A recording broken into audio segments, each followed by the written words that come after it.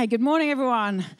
Uh, my name's Emily, as Steve said, and normally you'll find me in a red t shirt next door looking after the kids and being with them. So it's great to be with you guys as adults today. Now, one thing that we do learn from a very young age is the love of a good story, right? Whether it's a story in a book or a story on a movie, maybe a comedy series, maybe actually it's a non-fiction versus a fiction story that we love. But we all recognize that we love it when someone tells us a really good story. But the thing that perhaps we're not so aware of is actually each one of us here is actually writing a story. You're creating a story right now and it's called The Story of Your Life.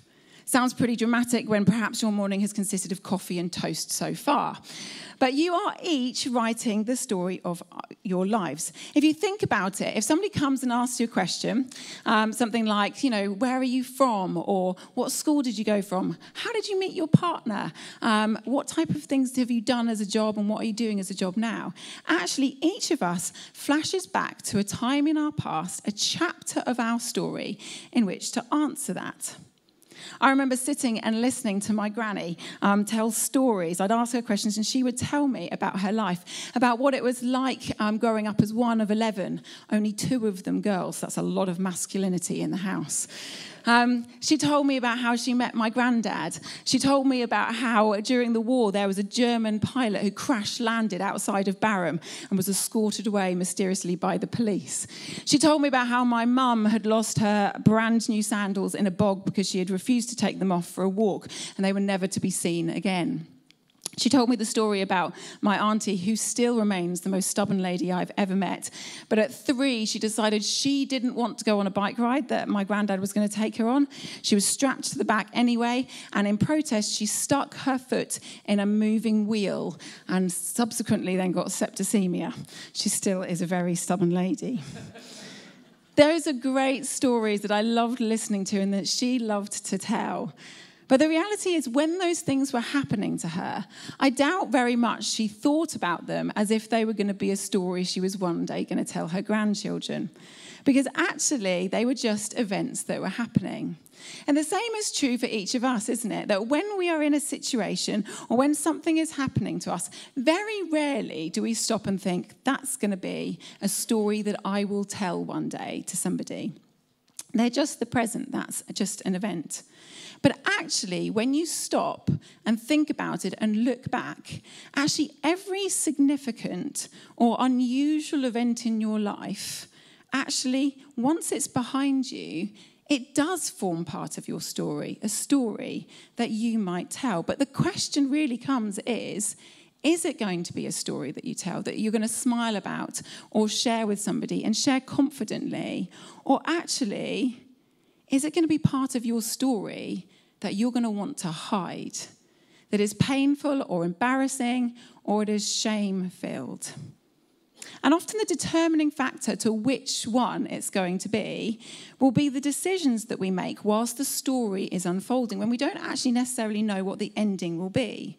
Will it be thoughtful responses or will it be emotionally fueled reactions? Now, as Steve said, today we're on part three of our series, Better Decisions and Fewer Regrets. And actually, the big idea behind this whole series is if we actually take the time to ask ourselves better questions and then to honestly answer them. And if you didn't see Mike's talk last week, then I seriously recommend um, catching up on it about how we can honestly answer the questions and then we act on those things then actually we can make better decisions. And when we make better decisions, we will have fewer regrets. And our hope, actually, here as a staff team, as a, as a, church, is that when we make better decisions, this won't just affect us, but actually it will influence and affect the people around us as well. Because actually, our decisions impact our families, they impact our friends, they impact our work colleagues, which means that if our decisions impact them, then unfortunately our regrets do as well. So, over the next few weeks, um, we're going to be taking a look at various different questions. Now, the questions are taken from a book written by Andy Stanley uh, by this title, and actually, they should help us to learn to respond better in situations because responding beats reacting every single time. And today's question that we're taking a look at is a big one. It is the legacy question, okay? The question of what legacy do I want to leave? And we're not talking about money and property and things like that, but what story do we want people to tell of us? Because actually, the reality is, we might think that the story is in their hands about what they're going to say. But actually, the story is in ours. We each hold the pen to our own stories. So, when we're facing a decision of magnitude or consequence, what I really want us to learn to do, and off the back of this talk, is to pause and to think what story do I want to tell? When this decision or this season of life, when this relationship or when this business deal or when this illness, when this job or task is done, what story do I want to tell off the back of it? Do I want it to be a story that I can smile about and share with my children and grandchildren? Or will it actually end up being a story that I have to hide away in shame? See, the decisions that we make now determine the answers to that question. Now, we might not be able to control and determine the outcome of our decision, because let's face it, there are lots of pitfalls in life and lots of bumps along the road that we might not foresee. But actually, we can always control the part that we play in something. So, for example, let's say your boss comes and he asks you to lie to a client because he knows that if you lie to the client, they're going to get a better deal and you need to lie. And it's your boss that's making the request. So you think, I don't have any room to not do this, so I'm going to lie. So you lie to the client, but the client then finds out. And actually, your boss, he throws you under the bus and he says, it was nothing to do with me. They were the one that lied. And you lose your job. Your stories now become that you lied to a client and you lost your job. Your story could be this, though. Your boss comes to you and asks you to lie to the client. And you say, No, I'm not going to lie to them. That's not part of who I am. That's not part of my value system. I won't lie. And your boss says, Okay, you don't want to do what I'm going to tell you to do? Then you're out. Still not a great story because you've lost your job, but actually your integrity is in place. How about this one? Your friends want you to go out, but actually you have an exam that you need to study for. And they push you and push you, but actually you say, No, I'm not going to go out. So you stay home, you study, you absolutely ace the exam. And actually, that's a decision that you then make time and time and time again. And actually, you end up going to university, you get a degree, and you get a really good job. That's a good story, isn't it? Based on that decision to not always say yes to your friends. Or how about this one? A relationship ends. And you know, you're struggling to know what to do, you're feeling the real pain of it, and actually, it just becomes easier to perhaps drink a little too much in that situation. And you start to make some unwise choices and actually, because maybe you're losing a bit of the respect of some of the friends that you have, or they make you feel awkward about the choices that you've made, you start to hang out with different people. And actually, you make more unwise choices, particularly around the partners that you have. That's not a good story. It's an understandable story because let's face it, we all understand the pain of heartbreak, but it's still not a good story. And actually, it's the decisions that we make in the valleys of our life that actually will determine what type of stories we have on the other side of those valleys. So, when you are facing a decision of any magnitude, then actually we need to learn to pause, to look ahead and think when this is nothing more than a story I will tell, what story do I want to tell? when this is nothing more than a story I will tell, what story do I want to tell? Am I going to focus on the immediate or am I going to focus on the ultimate? Now, there is a really good story in the Old Testament which shows these two examples. Do you focus on the immediate or the ultimate? Um, and it's a good story because there are two really contrasting examples of people in this. There's um, one group of people um, who is they're in an emotionally charged situation and they make a decision on choosing the immediate. And there's another individual who finds himself in lots and lots of emotionally charged situations, but who chooses always the ultimate. And it's a story that is very familiar to lots of people, whether you have been in church before or never before. And it is the story of Joseph. Okay, so I want us to scroll back to 1800 BC and we find Joseph, and he is 17 years old. And he is the 11th of 12 sons. And actually, he's finding himself in a no win situation that actually isn't entirely of his own making. Because you see, his father Jacob, his father Jacob loves him, loves him, in fact, more than the other brothers before him. And he loves him because Joseph's father, Joseph's mother, rather, is Joseph's father's favorite wife. Now, understandably, this very demonstrated love that Jacob has for Joseph, it fuels a fire of jealousy in Joseph's brothers because they know that they aren't loved or valued in the same way as their brother. And to be honest, Joseph doesn't really help matters. He's not very diplomatic about it. He very easily and very quickly rats out on his brothers when they're not doing what they're supposed to do. And he keeps bragging about these dreams that he has where his brothers have to bow down to him. But actually, it's the fact that Joseph's father, Jacob, loves him best that actually fuels this jealousy and hatred. And eventually, this jealousy gets to the, to, um, the better of them and they plot to kill Joseph. So they have various different ideas about how they're going to do it. And eventually they decide that they're going to throw him down a well and they're going to leave him there to die. But then they see a slave trader walk past and they think, hang on a second, that's a bit more of a profitable way of solving our problem with Joseph. And so they sell Joseph to this slave trader. And then they have to go home and give the best performance of their life. They have to tell their father, sobbing with tears in their eyes, how a wild animal has come and taken their brother and killed him. And to make it more believable, they've taken Joseph's coat and they've smeared it with blood. Now, I want you to stop and think for a moment. These young men have been fueled by hatred, and they have made a decision which means that for the rest of their lives, they have a secret that they are now forced to live with, a lie that they have to live out time and time again. Their story, because of that decision to throw him in that well and then to sell him to the slave trader, their decision has made their story this I was so jealous of my younger brother that I, along with my other brothers, beat him up and sold him into slavery. There was 10 of us and one of him. That's not a good story to tell. Or even this one. We lied to our father. We broke his heart and said that his favorite son had been killed by a wild animal. And we covered his blood, uh, clothes with blood so that it was more convincing. And we continued that lie, all the while knowing he was still alive but in slavery. That is not a good story. And actually, it means that Joseph's brothers are now liars for life.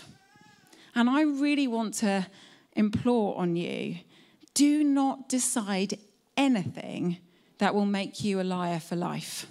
Because whatever you gain in that moment, whatever you gain by what you've done that makes you have to lie, it will not be worth what you are forced to carry into the moments that follow from there.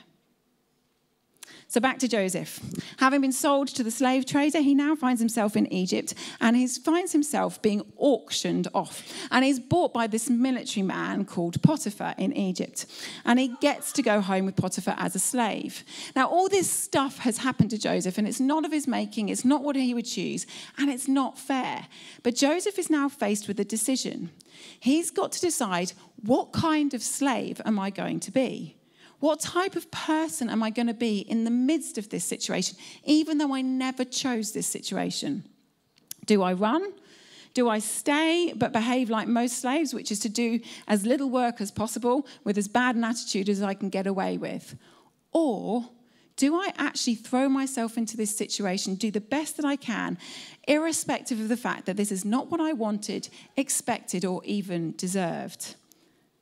And actually, I think that that's the choice that most of us in this room face. There are going to be times when people will take control of our stories because their choices and their decisions will result in parts of our story that we never intended, wanted, or asked for. There are circumstances in life that send us with curveballs and give us things that we'd rather not have. But we're faced with that question Who do I want to be in the midst of this circumstance? What story do I want to tell? Now, the amazing thing about Joseph is he chooses to do the honorable thing. He doesn't choose the easy thing or the understandable thing. He doesn't get fueled by emotion and anger like his brothers, but he chooses the honorable thing. He does the thing that he knows from God is the right thing to do. So Joseph serves Potiphar like he is serving at his own household, and he works hard. And God blesses this decision. Because in Genesis it says this The Lord was with Joseph so that he prospered. And when his master saw that the Lord was with him and that the Lord gave him success in everything that he did, Joseph found favor in his eyes and became his attendant. Potiphar put him in charge of his household and he entrusted to his care everything he owned. Now, that's a story worth telling, isn't it? I was kidnapped, I was sold twice, I was a victim, but I decided not to be a victim, and I wasn't a victim. I was put in charge of stuff. But actually, if you know the story, then you'll know that there are more twists and turns to come in the story. Because actually, Joseph finds himself yet again in a situation that isn't of his making. Because Potiphar's wife takes a shine to him, and she wants him to, um, she wants to make him her lover. And so she keeps kind of like putting herself in certain circumstances and keeps trying to persuade him that he wants to do this. Now, Joseph has faced with a choice. And to be honest, both options are pretty bad. Because if he sleeps with her and he's discovered about it, it's likely to end in death. If he refuses her, it's likely to end badly for him. But Joseph still does what he knows is right with God. And so he says to Potiphar's wife, he says, With me in charge, my master does not concern himself with anything in the house. Everything he owns, he's entrusted to my care. In other words, I was a slave, but he has given me this responsibility. No one is greater in this house than I am. My master has withheld nothing from me except you, because you are his wife. How then could I do such a wicked thing and sin against God? And what I love about this bit is actually Joseph, perhaps unwittingly, has shown us the basis on which he makes all of his decisions. And actually, it's the basis on which, if we make our decisions on that basis, we will have better decisions and fewer regrets. And it's this irrespective of what other people have done to him or tried to do, irrespective of how he might feel and what he might have wanted in that situation. In this situation, he asks himself, What would God want me to do? What is God's story that he wants me to live out right now? Because Joseph says, How could I do such a wicked thing and sin? Not against Potiphar, who's given him all of this responsibility, not against you, Potiphar's wife, because you're a married woman. And not even against myself, Joseph would say, because actually I'd be letting myself down if I did this. Instead, what he says is, How could I sin against, how could I hurt and go against God? See, the basis of Joseph's decisions was always what is God's story that he wants me to live out right now in this situation? And so, in the situation, he chose what he knew God would want for him. And so he refuses Potiphar's wife. And he does that day after day after day. And every time she comes to him, so much so that she then responds out of frustration. She wants to take revenge. How dare he reject her? So she kind of orchestrates this situation where he's found in a compromising situation. And she turns and says, He's raped me. And Potiphar believes her and throws Joseph into jail. Again, doesn't sound like a great story, but it's a better story because he stands there and Joseph can say, I acted with integrity. Now, Joseph ends up in jail, and he ends up in jail for a very long time. And perhaps, perhaps like lots of us, when we're in a situation which feels like it is never ending, we find ourselves thinking, well, is this the end of my story? Is this where it's going to be? And it'd be really easy to give up in that situation and to just be like, what's the point? But Joseph doesn't. Instead, Joseph does exactly what he did before in Potiphar's household. He lives and he makes decisions that he thinks will honor God and honor other people. No matter his situation, no matter the circumstances around him, he honors God and other people. And actually, when you read on, several years later, because he's in prison for a long time, he reaps the reward of that. Because Pharaoh has a dream. And it's a dream that nobody can interpret. And then one of his servants remembers a time when, unfortunately, he was in jail, but he'd met Joseph, and Joseph had interpreted this dream for him. And so he says, I know a man, Pharaoh, that you can come in and he will interpret the dream for you. So Joseph is pulled out of his cell and brought before the most powerful man in Egypt, Pharaoh. And he's told, You must interpret this dream. And Joseph does something completely surprising. Because if you think about it, this is Joseph's get out of jail free card. All he has to do is interpret a dream, which he's done before, and Pharaoh will let him go free potentially. But Joseph says, I can't do it. I can't interpret your dream. Which, let's face it, is a dangerous thing to say to the most powerful man who you don't know what he's done to all the other people who've said, I can't do it before him. But he says this I can't do it but God will give Pharaoh the answer he desires. Because you see, Joseph knows that it is God who answers. It is God that guides. It is God that makes sense of it all, even when things feels like they are falling apart. It's God that can do incredible things, like the thing that Pharaoh is asking him to do. And Joseph knows that actually what matters here is not his story, his getting free. What matters here is God's story.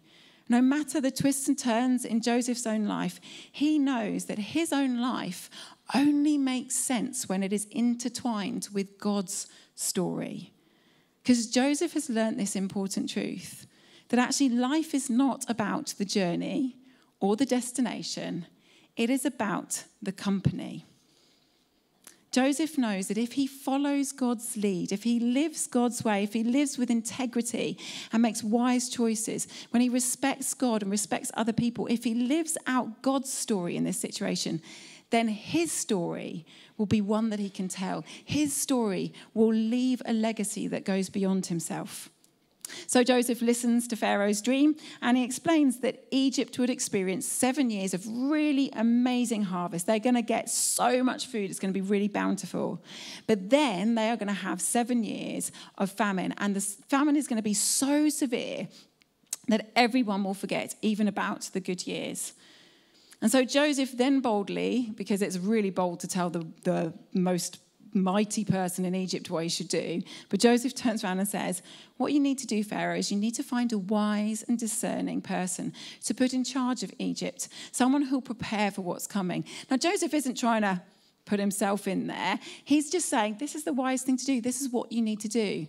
And so Pharaoh smiles and he says to the people standing around him, Can we find anyone like this man, one in whom is the Spirit of God?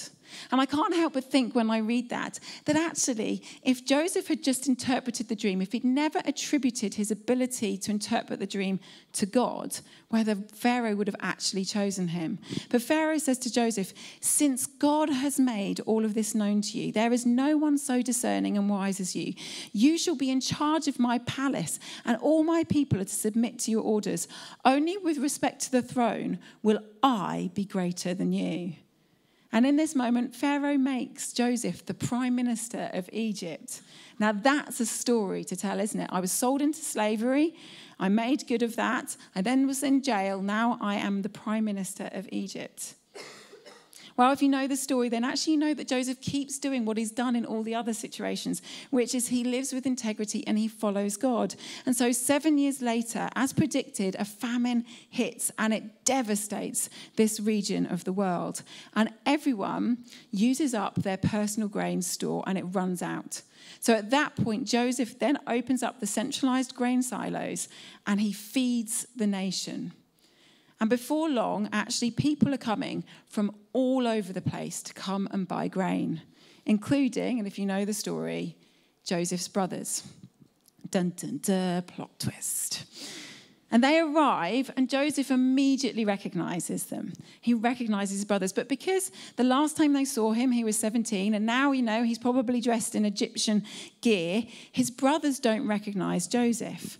And so Joseph decides, I'm going to test them. I want to see if they're still the same brothers or whether or not they've actually changed. And actually, through their actions that then happen, through the tests, the brothers unbeknowingly show Joseph that they've changed, that actually they've learnt from their mistakes, and that they're now people of honor and truth and integrity. And so Joseph, he's just like, this is great. And he finally reveals who he is to his brothers. And his brothers, well, they don't go, wow, this is amazing. They're terrified because they think that Joseph is going to take revenge on them. But Joseph does exactly what he has always done. He lives out God's story in that situation. He forgives them. And actually, he gives them the food that they need. And he brings them and their families and his father to live in Egypt, to be reunited and to live under this place and place. And here's the point of the whole of Joseph's story that we're looking at today life is going to throw stuff at us. Other people's choices and decisions will change and affect our stories, but we will always get to choose what story we want to tell out of that. See, Joseph never intended to become the most influential person in Egypt. He never set out to rescue a whole nation from famine. But one decision at a time, one response at a time, he wrote a story that not only was a great story for him, but actually it was a story that rescued a nation from famine. He lived his story, intertwining it with God's story, basing his decision on what God would want him to do. And the results were incredible. In fact, one of the most famous quotes from Joseph's story is this it says, You intended to harm me, but God intended it for good to accomplish what is now being done, the saving of many lives. You see, that was only possible because Joseph went against the gravitational pull of bitterness of deciding to become the victim in the situation. He went against the temptation to try to get everything that he could get because everybody had taken everything that he had. So the question remains for each of us here is what story are we going to tell? What decisions will we make in the situations that we currently find ourselves in, good or bad? I think one of the wisest choices you can make right now is actually to surround yourself with people who can help you to discern what God would want you to do in each situation. People who can cheer you on, who can pray for you, who can support you and guide you. Craig Groeschel, who's an American speaker and writer, he says this Show me your friends, and I'll show you your future. So surround yourself with people who can help you to tell the best story of your life, one that has God at its center. Now, if you're new or visiting, maybe for you the brave decision is to keep coming back for the rest of this series, to keep coming on a Sunday and putting yourself in this environment and just hearing about who God is.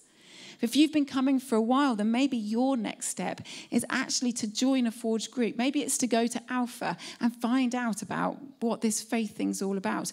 Maybe it's to join another group where it allows you to talk to people, ask questions, get their advice about what they would do in your situation. Maybe for some of you, actually, you've been going to a group for years and years and years, but your next step is to find some running mates, not because you're going to go running with them, but because running mates is a chance to meet with two or three people who can ask you really difficult questions, where you can be honest and go, you know what, I am really struggling in this area. This is happening, or I'm tempted to do this. And they can go, let me pray for you, let me support you, let me encourage you to make wise choices. Life is not going to be easy, and doing the right thing doesn't always end out with the best results. We know that, don't we? But actually, the question is are you going to choose to live a story that you are proud to share? Irrespective of what happens, you can say, This is the part that I played. But more than that, a story where you can share what God has done in and through you through all of those circumstances. A story that when you can see that you have doubted, when you have had mountains you've had to climb, when you've had battles that you have had to fight, you can still say, God can be trusted all the way through those things. You get to decide one decision at a time. But here's the other part of the story that we don't often remember. You see, God always wants the best for us, He really does, but we're not always very good at choosing at what's best for us. And there's going to be people here today, in person or watching online. And actually, you've been living with regrets. You know the pain of bad decisions and choices. And actually, if we're all honest, that should be all of us here, isn't it? We've all got things that we regret in life. But perhaps there's some of us here who are living with the long term consequences of real regrets in our life. And actually, if that's you, then I want you to know this. Your past may shape you, but it does not have to define you. Sometimes the most beautiful things come out of the most broken places. And God doesn't see broken things the way that we see them. Where we see damage, God sees possibility. Where we see waste, God sees worth. Where we see an ending, God sees a beginning. Your brokenness, your shame, the parts of your story that are so messed up, that are so deeply hidden, that you feel are the worst parts of yourself, where you feel broken and you have to hide them away, those are not a barrier to God. Instead, it is an invitation to His healing, His wholeness, and His redemption story. See, that's what God's story, that's what the whole story of the Bible is about. It's about restoring and mending and working with broken things to bring about healing. And actually, we forget when we look at Joseph's story that actually that those messed up brothers who lived a life for decades, who plotted to kill their brother and then sold him into slavery, actually they become the 12 tribes of Israel. Their families, their lines are interwoven into the story of God's redemption because they are the great, great, great, great, great, great, great, and as many greats as you can imagine, grandparents to Jesus. And Jesus came to rescue us. Nothing and nobody is irredeemable to God. And no matter what mistakes you have made and mess ups, He still loves you and He can still use you. That's His story and He wants it to be your story too. The question is, and the question always is, are you willing to intertwine your story with His?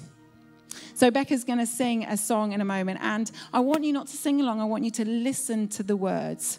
And I want you to think and ask yourself in the situation that I'm currently in, what story do I want to tell? Will it be a story that I can tell over and over again? One where actually the main character isn't even me, but it's a story that speaks of who God is and the way that He is faithful, the way that He loves, the way that He provides, no matter the mountains that you face and have to climb. And no matter the mistakes and the regrets you've, um, you've had, a story where you've played your part, where you have followed his lead, even when you had no idea of what the outcome was going to be. A story of his greatness, his love, of who he is. The question is and always is what story will you tell? Because only you get to decide.